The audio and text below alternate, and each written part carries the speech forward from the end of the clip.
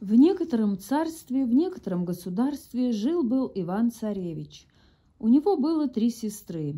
Одна Марья царевна, другая Ольга царевна, третья Анна царевна. Отец и мать у них померли. Умирая, они сыну наказывали, кто первый из твоих сестер станет свататься, за того отдавай, при себе не держи долго.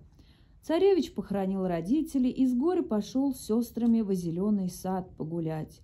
Вдруг находит на небо туча черная, встает гроза страшная. «Пойдемте, сестрицы, домой», — говорит Иван-царевич. Только пришли во дворец, как грянул гром, раздвоился потолок, и влетел к ним в горницу ясен сокол.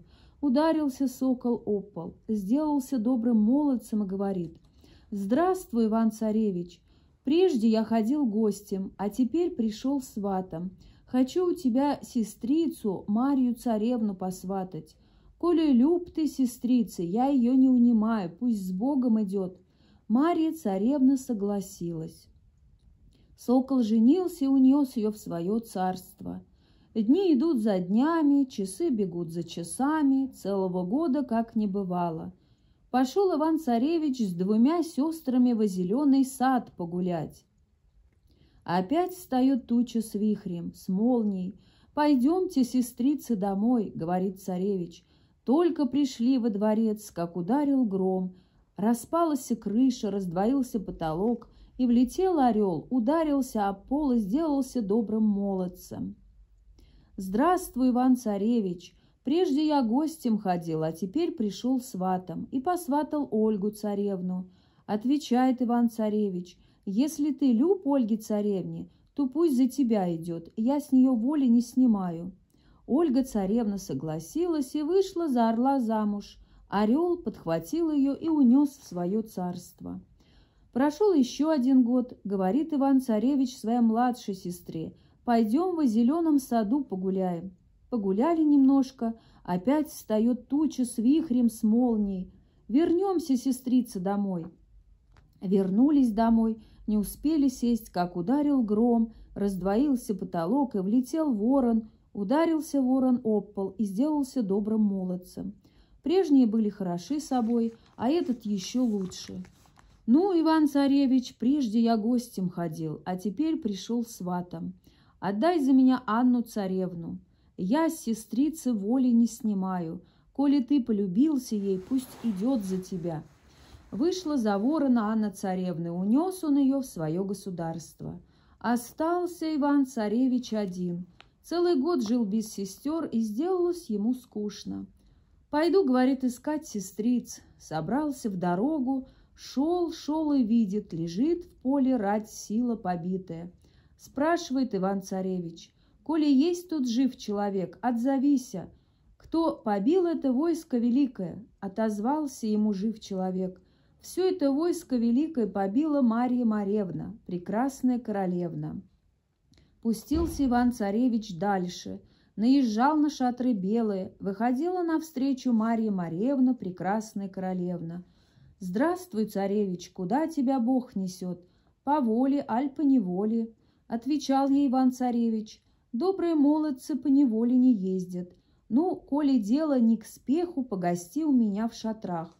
Иван-царевич тому и рад. Две ночи в шатрах ночевал, полюбился Марье Маревне и женился на ней. Марья Маревна, прекрасная королевна, взяла его с собой в свое государство. Пожили они вместе сколько-то времени, и вздумалась королевне на войну собираться. Покидает она на Ивана-царевича все хозяйство и приказывает Везде ходи, за всеми присматривай, только в этот чулан не моги заглядывать. Он не вытерпел, как только Марья Марьевна уехала, тотчас бросился в чулан. Отворил дверь, дверь, глянул, а там висит Кощей Бессмертный, на двенадцати цепях прикован. Просит Кощей Ивана-Царевича, «Жалься надо мной, дай мне напиться. Десять лет я здесь мучаюсь, не ел, не пил, совсем в горле пересохло». Царевич дал ему целое ведро воды. Он выпил и еще запросил. «Мне одним ведром не залить жажды, дай еще». Царевич подал другое ведро. Кощей выпил и запросил третье.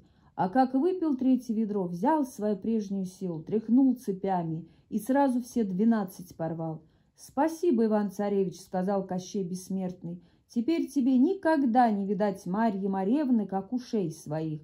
И страшным вихрем вылетел в окно, нагнал на дороге Марью Маревну, прекрасную королевну, подхватил ее и унес к себе. А Иван-царевич горько-горько заплакал, снарядился и пошел в путь дорогу. Что не будет, а разыщу Марью Маревну. Идет день, идет другой, на рассвете третьего видит чудесный дворец. У дворца дуб стоит, на дубу ясен сокол сидит. Слетел сокол с дуба, ударился озимь, обернулся добрым молодцем, закричал. «Ах, Шурин мой любезный, как тебя Господь милует!» Выбежала Марья Маревна, встретила Ивана Царевича радостно, стала про его здоровье расспрашивать, про свое житье-бытье рассказывает. Рассказывать. Погостил у них царевич три дня и говорит, не могу вас гостить. Долго я иду искать жену мою, Марию Маревну, прекрасную королевну. Трудно тебе сыскать ее, отвечает сокол. Оставь здесь на всякий случай свою серебряную ложку. Будем на нее смотреть, про тебя вспоминать. Иван-царевич оставил у сокола свою серебряную ложку, пошел в дорогу. Шел он день, шел другой. На рассвете третьего видит дворец, еще лучше первого. Возле дворца дуб стоит, на дубу орел сидит. Слетел орел с дерева, ударился озимь, обернулся добрым молодцем, закричал. «Вставай, Ольга царевна, милый наш братец идет!» Ольга царевна тотчас прибежала навстречу, стала его целовать, обнимать, про здоровье расспрашивать, про свое житье-бытье рассказывать. Иван-царевич погостил у них три денька и говорит, «Дольше гостить мне некогда. Я иду искать жену мою, Марью Маревну, прекрасную королевну». Отвечает орел, «Трудно тебе сыскать ее. Оставь у нас серебряную вилку. Будем на нее смотреть, тебя вспоминать». Он оставил серебряную вилку и пошел в дорогу. День шел, другой шел, на рассвете третьего видит дворец лучше первых двух. Возле дворца дуб стоит, на дубу ворон сидит. Слетел ворон с дуба, ударился озимь, обернулся добрым молодцем и закричал. «Анна царевна, поскорей выходи, наш братец идет!»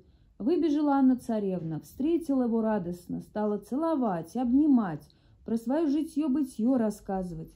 Иван-царевич погостил у них три денька и говорит, «Прощайте, пойду жену искать, Марью Маревну, прекрасную королевну». Отвечает ворон, «Трудно тебе сыскать ее, оставь-ка у нас серебряную табакерку, будем на нее смотреть, тебя вспоминать». Царевич отдал ему серебряную табакерку, попрощался и пошел дорогу. День шел, другой шел, а на третий добрался до Марьи Маревны. Увидала она своего милого, бросилась к нему на шею, залилась слезами и промолвила. «Ах, Иван-царевич, зачем ты меня не послушался?» Посмотрел в чулан и выпустил Кощея Бессмертного. «Прости, Марья Маревна, не поминай старого, лучше пойдем со мной, пока не видать Кощея Бессмертного, а вось не догонит». Собрались и уехали, а Кощей на охоте был. К вечеру он домой ворочается – под ним добрый конь спотыкается. Что ты, несытый кляча, спотыкаешься? Аль чуешь какую невзгоду? Отвечает конь. Иван-царевич приходил, Марью Маревну увез. А можно ли их догнать? Можно пшеницы насеять, дождаться, пока она вырастет, сжать ее, смолотить, в муку обратить, пять печей хлеба наготовить, тот хлеб поесть, да тогда в догонь ехать и то поспеем. Кощей поскакал, догнал Иван-царевича. «Ну, — говорит, — первый раз тебя прощаю за твою доброту, что водой меня напоил, а в... и в другой раз прощу, а в третий берегись, на куски изрублю». Отнял у него Марью Маревну и увез, а Иван-царевич сел на камень и заплакал. Поплакал, поплакал, опять воротился назад за Марьей Маревную. Кощея Бессмертного дома не случилось. Поедем, Марья Маревна. Ах, Иван-царевич, он нас догонит. Пускай догонит, мы хоть часок-другой проведем вместе. Собрались и уехали. Кощей Бессмертный домой возвращается, под ним добрый конь спотыкается. Что ты, несытые клячи, спотыкаешься? А ли чуешь, какую невзгоду? Иван-царевич приходил, Марью Маревну с собой взял. А можно ли догнать их?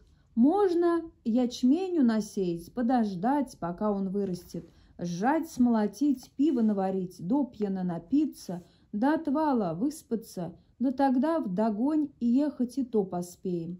Кощей поскакал, догнал Иван-царевича, ведь я ж говорил, что тебе не видать Марьи Маревны, как ушей своих. Отнял ее и увез к себе.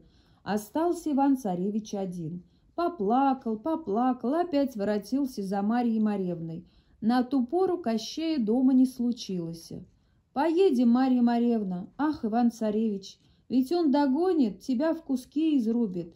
Пускай изрубит, я без тебя жить не могу». Собрались и поехали. Кощей Бессмертный домой возвращается. Под ним добрый конь спотыкается. «Что ты спотыкаешься?» Али чуешь, какую невзгоду? Иван-царевич приходил, Марью Маревну с собой взял.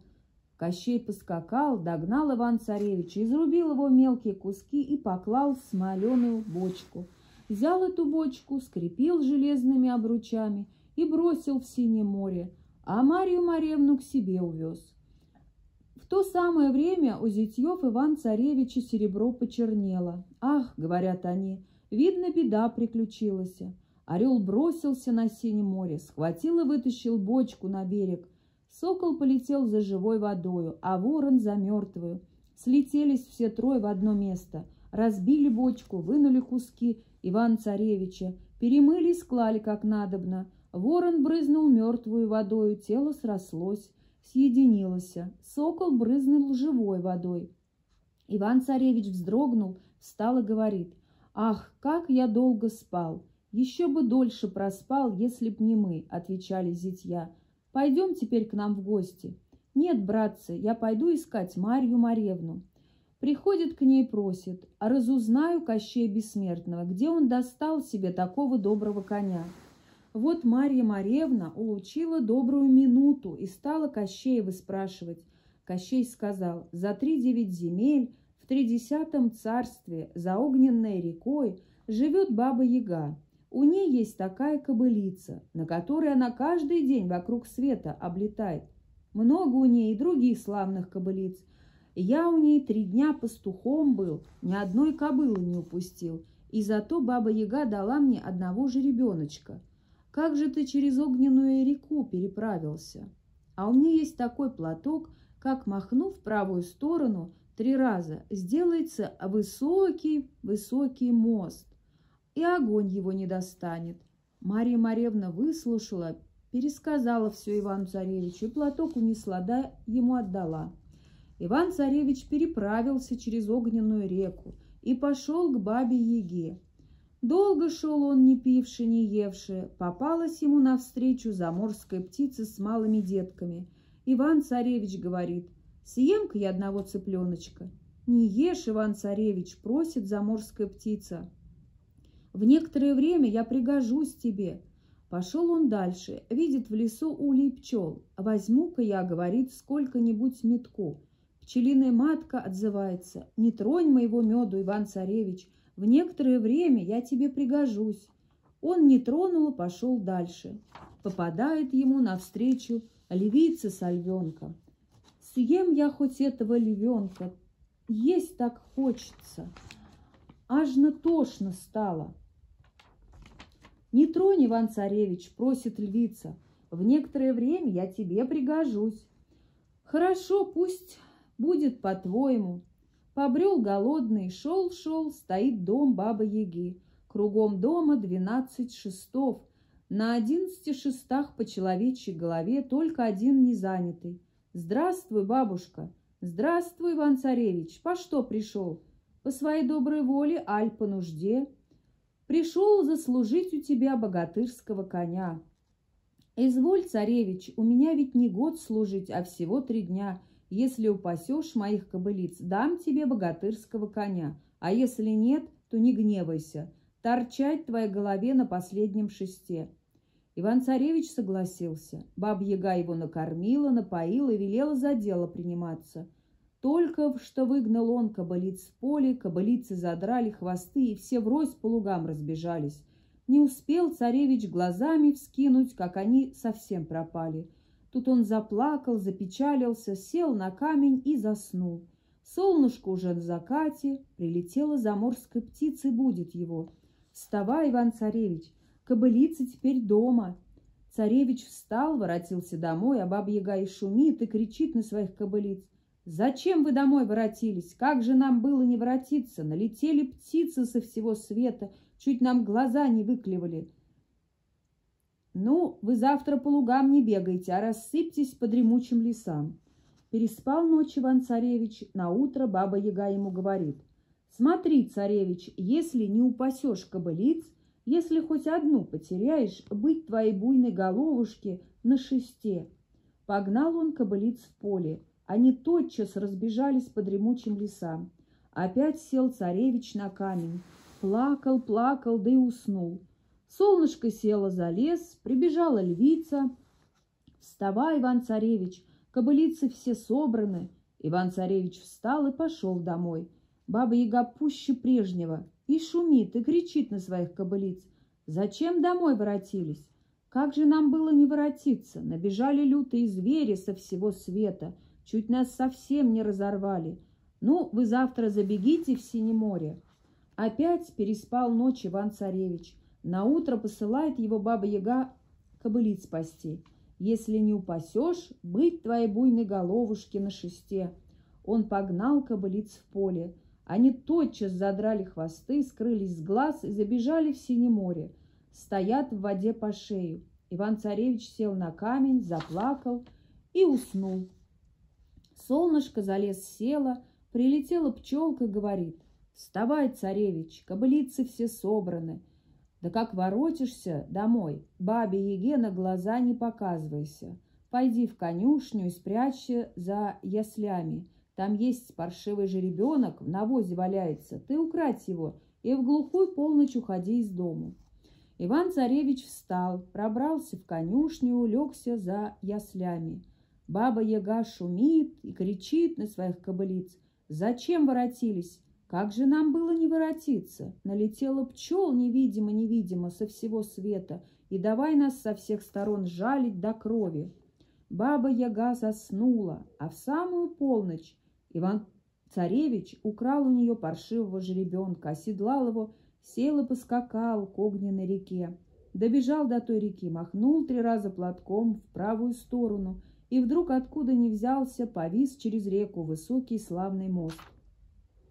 Царевич переехал по мосту и махнул платком. В левую сторону только два раза. Остался через реку мост, тоненький-тоненький. Поутру пробудилась баба-яга, паршивого жеребенка видом не видать. Бросилась в погоню, во весь дух на железной ступе скачет, пестом погоняет, помелом след заметает. Прискакала к огненной реке, взглянула и думает, хорош мост. Поехала по мосту, только добралась до середины мост обломился, и Баба-Яга чубурах в реку. Тут ей лютая смерть приключилась. Иван-царевич откормил же ребенка в зеленых лугах, стал из него чудный конь. Приезжает царевич к Марье Маревне. Она выбежала, бросилась к нему на шею. «Как тебя Бог воскресил?» «Так и так, — говорит, — поедем со мной. Боюсь, Иван-царевич, если Кощей догонит, быть тебе опять изрублену». Нет, не догонит. Теперь у меня славный богатырский конь, словно птица летит. Сели они на коня и поехали. Кощей бессмертный домой ворочается, под ним конь спотыкается.